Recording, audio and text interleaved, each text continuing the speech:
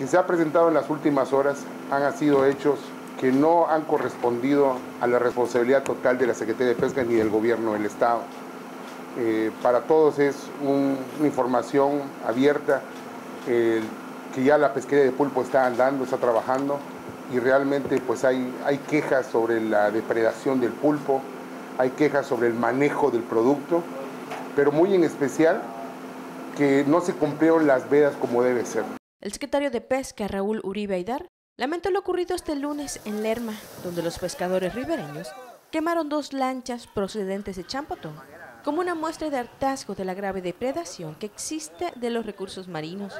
Sin embargo, destacó que la CEPESCA solo apoya las acciones del gobierno federal, por lo que solicitó a la federación marcar la estrategia de seguridad. Los 523 kilómetros del litoral del estado están a disposición no solamente del uso de los pescadores, sino cualquier tipo de actividad.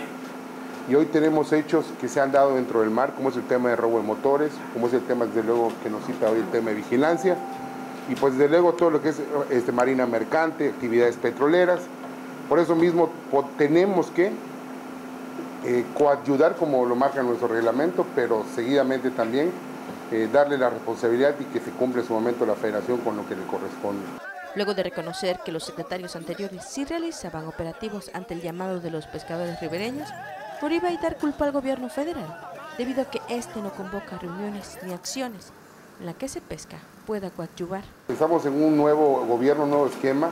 Eh, acá hemos pedido que nos convoque la federación a compartir estas mesas estratégicas de lo que era el COPEISCAM, que era el Comité de Vigilancia, en donde pues obviamente participaban todas las autoridades federales, Marina Armada de México, y bueno, era una mesa de trabajo no solamente en todo el estado, sino en los municipios, eh, todo el litoral de Campeche.